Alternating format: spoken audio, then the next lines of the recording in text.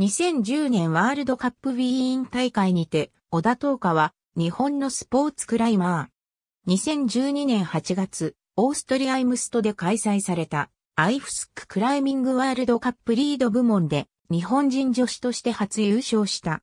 アイフスククライミングワールドカップ2013年世界ランキングリード部門3位、ボルダー部門7位、種目総合3位。山口県出身。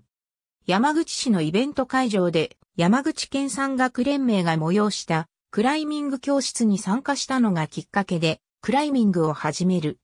山口市立小郡中学校在学中の2008年、14歳でワールドユース選手権ユース B で優勝し、頭角を表す。山口県立豊富高等学校在学中の2010年5月のワールドカップのボルダリング部門オーストリア大会でワールドカップ初出場にて準優勝。世界的な注目を浴びる。山口県立大学国際文化学科に進学し、スポーツクライミング部に所属。2012年にはワールドカップリード部門で総合優勝も果たす。しかし、オーバートレーニングの影響で体重のコントロールが効かなくなり、指は腱鞘炎を起こすなどしたことから、2013年8月を最後に競技の一線を離れる決断をする。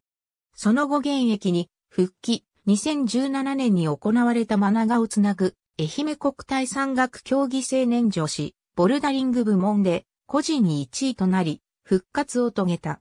現在はクライミングジムのスタッフとして働いている。ありがとうございます。